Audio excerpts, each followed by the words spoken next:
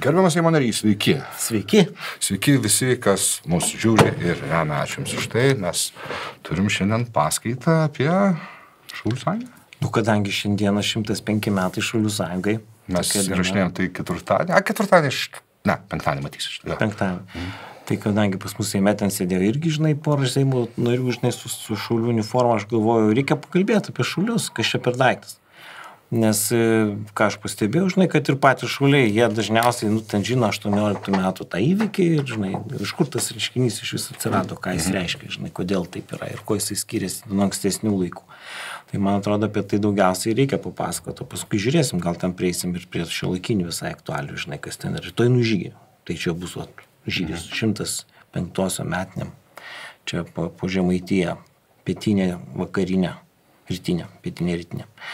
Tai va, tai žodis e, šaulys, e, daug kas galvoja, kad tai yra toks lietuviškas žodis, čia kilęs, žinai, kažkas sugalvojo, nu, kaip pas mus dažniausiai sako, ten koks nors tautos tėvas sugalvojo tokį žodį, žinai. Tai e, tautos tėvai sugalvojo, bet realiai tas žodis yra labai senas. Ir jisai yra susijęs su žmonėmis, kurie gyvendavo ir dirbdavo miškuose. Mhm. Tai čia kaip ir jėgeriai. Tai va čia ir atitinka jėgeriai. Tai užtat tas žodis, reiškia, daug kas ir net nežino, kad tai reiškia iš esmės tą patį. Tai yra žmonės, kurie tiesiog prižiūri, prižiūri miškus ir, ir aišku, tas, ta versija daugiausiai buvo lenkiška pas mus, nes tiek 16-17 amžius. Tai buvo tiesiog žmonės, kurie tvarkydavo miškų ūkį, atvykdavo, padėdavo medžioti, nu, tokie, tokie, bet jie turėjo vieną labai esminę savybę, tai yra žmonės, kurie taikliai šaudė. Mhm. Čia vat mums šita savybė bus yra labai esminė ir tokia skiriamoji ir kada reikėdavo kažkam tai e, ar tai staigiai sumobilizuoti kokią tai kariuomenę, ar tai reikia kažkokis, sukurti kažkokį staigiai dalinį, tai dažniausiai tada kreipdavosi į tuos miškų gyventojus ir juos rinkdavo, nes jie, žinai, iš karto žino, ką daryti. Nes matai, medžiotojas jisai ne tik šaudo taikliai, bet jisai dar ir moka maskuoti, supranta, žinai, gyvūnus pažįsta, supranta, kaip gamtos faktorius, reliefas, kaip jisai veikia. Nu, tai žmogus, kuris iš principo yra karys, jau jisai iš karto. Aišku, ten jų gal negali panaudoti kaip ten reguliarių pėsnikų dėžutėm kažkokiam, tai, bet ten, kur, kur, kur yra. Tai va, ir kadangi jau 16 amžiuje buvo išrastas graištinis šautuvas, iš tikrųjų, taip senai, 16 amžiuje. O kariuomenė pradeda naudoti graištinius šautus taip jau didelis, didelis masteliais antrojo 19 amžiaus pusėje tik tai. Tas lai buvo stebuklas, kam šovė galvo, kad graištvas padėtų tą gyro momentą padaryti stadioną. Aš manau, kad stebėjo stebint, stebint situaciją na aš manau už strėlės leidžiant jeigu ten kažkokios plunksnos sukimą duoda mhm. duoda geresnį efektą aš manau kad tas senai buvo okay. bet praktiškai padaryti tai buvo ne taip paprasta todėl kad reiškia reikia vis tiek kažkaip tai padaryti ir ir ir tas graižtus reikia tam vamzdį ten padaryti ir kita problema kuri ilgą laiką nesisprendė tai kaip šovinius įdėti graižtvinį tą tą vamzdį kad neišeitų tos dujos pro šalį tai realiai ką jie darydavo tai jie paimdavo švininę kulką, nu ten dėdavo paraką, žinai, visų viską kaip priklauso, ir įkaldavo į tas graištas, kad jos įsisuktų. Tai čia, reiškia, reikalavo tokių gan rimtų įgūdžių, nes jeigu tu tenai nemokėsi to padaryti, jeigu, pavyzdžiui, nepastebėsi, kad neiššovė vienas šovinys, antras sukiši į tą graižtinį šautą, nu, tai labai tikėtina, kad sproks vamzdis ir, ir, ir baigsis ten, žinai, iš to šito. Šiaurės Korejos amunicijos. Nu, panašiai, panašiai, jo, Šiaurės Korejos amunicijos. Tai va, Tai, žinai, būtų blogai, jeigu mes pamatytume tą amuniciją čia pas mus kažkaip nesinori. Tai būtų gerai, kad kažkaip ten lokalizuotųsi, jinai ten, va, tam šiaurės į Korejos teritoriją. Tai va. Tai va. Ir vienu žodžiu, tie žmonės, jie pastebimai buvo naudojami taip pat dvaruose. Vat, pavyzdžiui, reikia ten koks bajoras, kad ir vidutinis koks nors neturi ten jokios labai rimtos kariuomenės, bet vat savisaugai jisai tuos šaulius ten susimobilizuoja, ten gali, tai dešimt tokių vyrų, žinai. Na ir aišku, jie už, tą, už tas paslaugas, kad jie, jie gali ateiti ten saugoti, ginti ir panašiai, jie dažniausiai gaudo žemės klipelius kažkokius tai ir turėjo tokias išskirtinės sąlygas. Tai, tai čia gal apie paprastus bajorus čia vienas kitas toks atvejis, bet, e, pažiūrėjau, Radvilų valdose 18 amžiuje tai tų šaulių ten visai nemažai buvo. Ta prasme, jie ten formavo tas vienetus visai ir kopas, ir, ir, ir praktiškai batalioną, gal ne, bet kopas tai turėjo tikrai. Man čia teko šiek tiek tyrinėtas privačias milicijas. Tai va. Na ir jie dar turėjo tokius regionus, ten, ten Beluvežo gyriui, ten kažkur tai jau jie buvo tokie žinomi, kur jau dideliuose miškuose galėjo pas, pasižymėti. Mhm. Tai va, tai tokia buvo pradinė tokia grupė žmonių ir jie laikas nuo laiko buvo naudojami.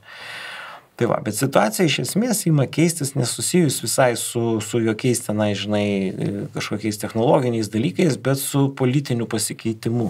Mhm. Matai, iki pat, iki pat 18 amžiaus pabaigos e, dominavo, e, dominavo lominės santvarkos. Išimtis gal buvo tik tai kai kuriuose kolonijose, nu kaip Šiaurės Amerikoje, va, susikūrė kažkoks visiškai naujas substratas, kažkokie kolonistai ginkluoti. Mhm.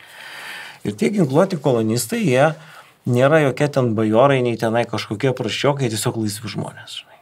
Tai va čia yra viena labai svarbi savybė, kad tai yra laisvi žmonės. Nu, kodėl jie laisvi? Dėl to, kad jie juos negali pagauti. Jeigu tu juos pagausi, pabėgsi ir nubėgsi ten pas indienus toliau. Ir viskas. Iškai tiesiog yra geografiškai nepribotas dalykas, kaip ir kazokai. Vat, panašių būdų atsiranda. Reiškia, kad turi kur pabėgti. Tu negali jų ten įbaudžiavinti rimtai arba, arba gali, bet tada reikia labai daug pastangų įdėti. Tai tokiu būdu tie pirmieji šauliai, kurie dalyvauja koviniuose veiksmuose, kaip tokie, iš esmės tai yra ginkluoti kolonistai, kurie kariauja Šiaurės Amerikos nepriklausomybės kare. Bet jeigu taip žiūrėt pagal, pagal laiką, tai panašiai turbūt ten jie ir būtų. Aišku, ten rimčiau patyrinėjus mes rastume panašių formuočių ir, ir kitose vietose atsiradusių, čia, manau, ten Šveicarijoje ten gali žiūrėti kokiu nors panašių dalykų, žinai, ten kur tie laisvėjai ten laisvėjai šauliai. Šaulininkai. Nu jo, nes yra, žiūrėk, ten ir, ir, ir tų dainų yra visokių apie tuos kalnuose gyvenančius žmonės. Na, bet irgi yra tai laisvas žmogus, kuris moka gerai naudotis ginklu ir jis gina savo laisvę. Tai jisai yra labai motivuotas, jisai yra taiklus, jisai gali išgyventi ir jisai absoliučiai nepasiduoda drausmė ir, ir disciplinai. nu, ta prasme, jis tam netinka. Okay. Ten jau, jeigu reikia tokia formuoti, tai visai kitų pagrindų, dažniausiai su algom ten ir taip toliau.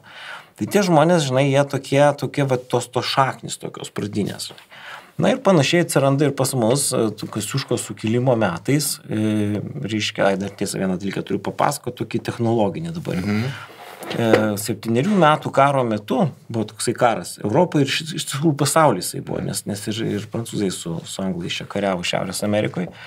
Tai e, Prūsijos kariuomenė e, pasiūlė tokią tų alvinių kareivėlių konceptą, lininę karybą, nu kur ten su jais sukariauti nebuvo kaip. Tu prasme, nu tai jie, žinai, tiek išdrilinti, tiek, tiek išmuštruoti, kad jie taip tiksliai atlieka sukinius ir taip sugeba, žinai, manevruoti, šauti vienu metu, kad niekas jų negalėjo perspėti šitoj vietoj. Nu tiesiog, nu reikia būti prūsų, kad tu galėtum tokiai sistemai gyventi. Tai va. Na ir ten, žiūri, žinai, ta muštras drausmė, taisyklės, viskas sudėta į lentynas.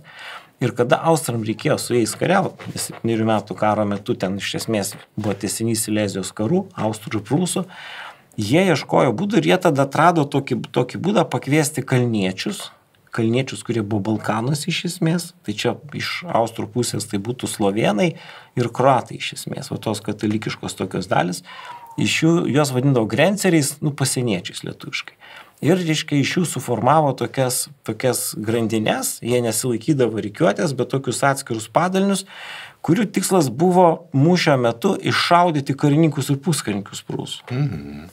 Nes jie, žinai, kadangi viskas per prievartą padaryta, kai nušauni tas galvas, ta sistema nebeveikia. Nu, toksai, toksai, žinai, toks gandžiūrus, aišku, reikia.